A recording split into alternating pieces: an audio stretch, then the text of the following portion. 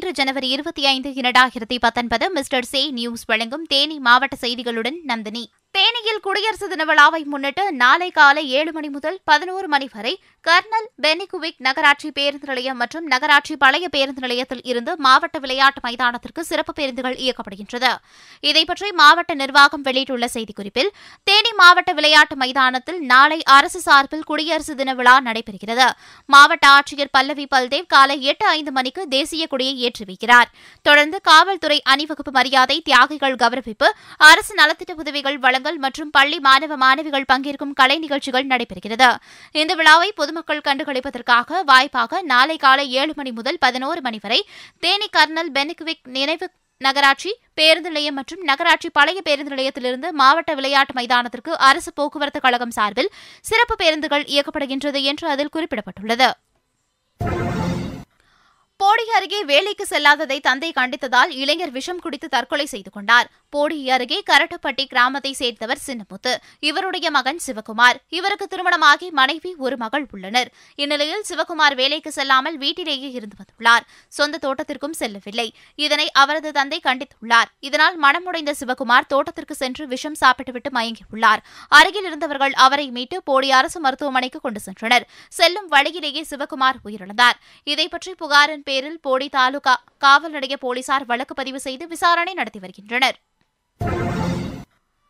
தேனி மாவட்டத்தில் ஊரக வளர்ச்சித்துறை மற்றும் பள்ளி கல்வித்துறை சார்பில் நேற்று பணிக்கு வராத அரசு அலுவலர்கள் மற்றும் ஆசிரியர்களின் பட்டியல் தயாரிக்கப்பட்டுள்ளது. ஜாக்டோஜியோ அமைப்பின் சார்பில் ஒன்பது அம்ச கோரிக்கைகளை வலியுறுத்தி செவ்வாய் முதல் வேலைநிறுத்த போராட்டம் நடைபெற்று வருகிறது. இந்த நிலையில் பணிக்கு வராத அரசு ஊழியர்கள் மற்றும் ஆசிரியர்களுக்கு சம்பந்தப்பட்ட துறைகள் மூலம் விளக்க குறிப்பானை அனுப்ப அரசு உத்தரவிட்டுள்ளது. இதன் அடிப்படையில் மாவட்டத்தில் ஊரக வளர்ச்சித்துறை மற்றும் பள்ளி கல்வித்துறை சார்பில் வேலைநிறுத்த போராட்டத்தை முன்னிட்டு நேற்று பணிக்கு வராத அரசு அலுவலர்கள் மற்றும் ஆசிரியர்களின் பட்டியல் தயாரிக்கப்பட்டுள்ளது.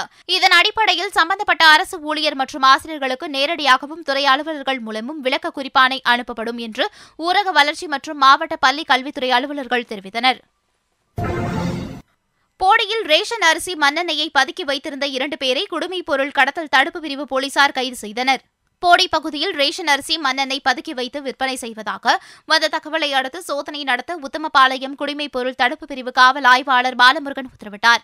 அதன் பேரில் காவல்துறை பறக்கும் படையினர் போடியில் சோதனை செய்தனர். அப்போது போடியை சேர்ந்த ஆறுமுகத்தம்மாள் என்பவர் எண்பது லிட்டர் மண்ணெண்ணெய் இந்திரா காந்தி சிலை அருகே உள்ள தனியார் உணவு விடுதியில் பதுக்கி வைத்திருந்தார். இதையடுத்து வழக்கு பதிவு செய்து அவரை கைது செய்த போலீசார் பதுக்கி வைத்திருந்த எண்பது லிட்டர் மண்ணெண்ணெயை பறிமுதல் செய்தனர். இதேபோல் போடி திருமலாபுரத்தில் சவுந்தரபாண்டி என்பவர் வீட்டில் வீட்டில் முப்பது லிட்டர் மண்ணெண்ணெய் இருநூற்றி ஐம்பது கிலோ ரேஷன் அரிசி பதுக்கி வைத்திருந்தார். இதையடுத்து அவர் மீதும் வழக்கு பதிவு செய்த குடிமைப் பொருள் கடத்தல் தடுப்பு பிரிவு போலீசார் சவுந்தரபாண்டியை கைது செய்து விசாரணை நடத்தி வருகின்றனர்.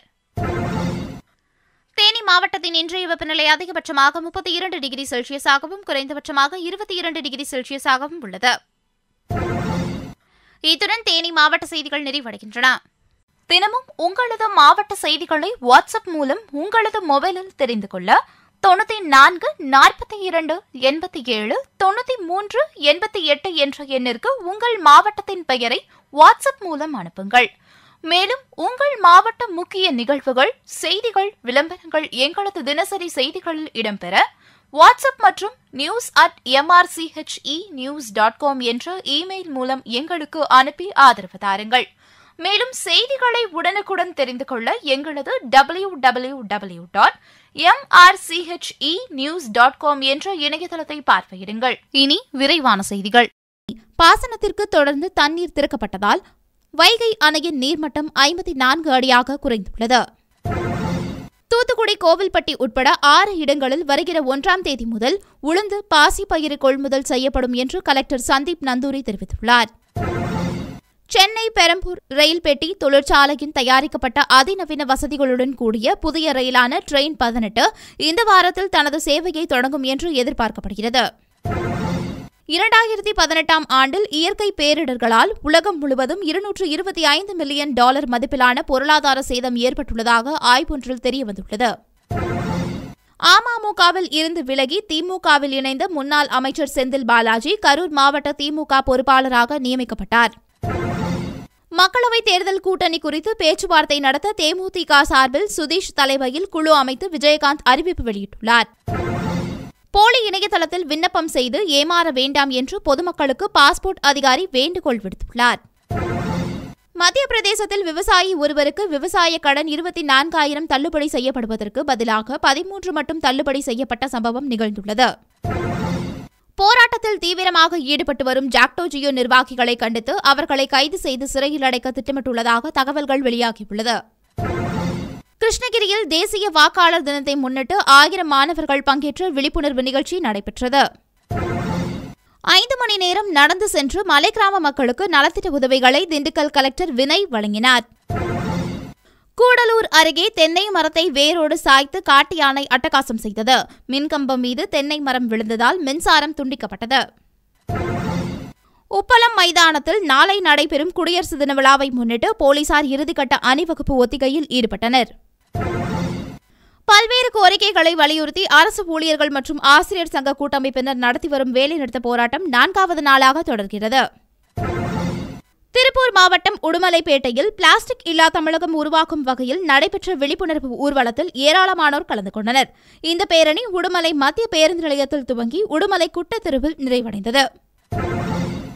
தலைநகர் டெல்லி உட்பட வட மாநிலங்களில் கடும் பனிமூட்டம் நிலவி வருகிறது. அதிகாலை நேரங்களில் அடர் மூட்டம் இருப்பதால் குறைந்த அளவிற்கு தூரமே கண்ணுக்கு புலப்படுகின்றது. இதனால் பதினோரு ரயில்கள் தாமதமாக வந்துள்ளது. பயங்கரவாதியாக இருந்து மனம் திருந்தி சரணடைந்த பின்பு ராணுவத்தில் சேர்ந்து பயங்கரவாதத்திற்கு எதிரான போரில் உயிர் நீத்த நசீர் வானிக்கு அசோக் சக்ரா விருது வழங்கப்பட உள்ளதாக அறிவிக்கப்பட்டுள்ளது. மகாராஷ்டிரத்தில் ஆயிரத்தி அறுநூறு கோடி மதிப்பிலான நெடுஞ்சாலை திட்டங்களுக்கு மத்திய சாலை போக்குவரத்து துறை அமைச்சர் நிதின் கட்காரி நேற்று அடிக்கல் நாட்டினார். மலேசியாவின் பதினாறாவது மன்னராக சுல்தான் அப்துல்லா இப்னி சுல்தான் அகமது ஷா அறிவிக்கப்பட்டுள்ளார். மகாராஷ்டிரா மாநிலம் பால்கர் மாவட்டத்தில் பிரபல விற்பனையகம் ஒன்றில் பாகிஸ்தான் நாட்டின் பிரியாணி மசாலா விற்பனைக்கு வைக்கப்பட்டிருப்பதை கண்டித்து சிவசேனா கட்சியில் போராட்டத்தில் ஈடுபட்டனர். நாட்டின் எழுபதாவது குடியரசு தினம் நாளை கொண்டாடப்பட இருப்பதை முன்னிட்டு ஜம்மு காஷ்மீர் மாநிலத்தில் வரலாறு காணாத பாதுகாப்பு ஏற்பாடுகள் செய்யப்பட்டு தீவிர கண்காணிப்பு நடைபெற்று வருகிறது. நியூசிலாந்திற்கு எதிரான முதலாவது ஒருநாள் கிரிக்கெட் போட்டியில் மந்தனா சதத்தால் இந்திய பெண்கள் அணி ஒன்பது விக்கெட் வித்தியாசத்தில் சுலபமாக வெற்றி பெற்றது. ஆஸ்திரேலியா ஓபன் டென்னிஸ் பெண்கள் ஒற்றையர் பிரிவில் கிவிடோபா ஒசாகா இறுதிப் போட்டிக்கு தகுதி பெற்றனர். ஆண்கள் பிரிவில் நடாலும் இறுதி சுற்றை எட்டியிருக்கிறார். Big bash T twenty league தொடரில் சிட்னி தண்டர் அணியை சேர்ந்த பெர்குசன் நாற்பத்தி எட்டு பந்தில் சதமடித்து அணியை வெற்றி பெற செய்தார். இன்று தங்கம் கிராமருக்கு மூவாயிரத்தி எண்பத்தி ஒன்பதாகவும் வெள்ளி கிராமருக்கு நாற்பத்தி இரண்டு புள்ளி இருபதாகவும் விற்கப்படுகிறது. இன்று பெட்ரோல் லிட்டருக்கு எழுபத்தி மூன்று புள்ளி தொண்ணூத்தி ஒன்பதாகவும் டீசல் லிட்டருக்கு அறுபத்தி ஒன்பது புள்ளி எழுபத்தி இரண்டாகவும் விற்கப்படுகிறது. இத்துடன் செய்திகள் நிறைவடைகின்றது. நன்றி. மேலும் செய்திகளை உடனுக்குடன் தெரிந்து கொள்ள W W W dot MRCHE news dot com என்ற இணையதளத்தை பார்வையிடுங்கள்.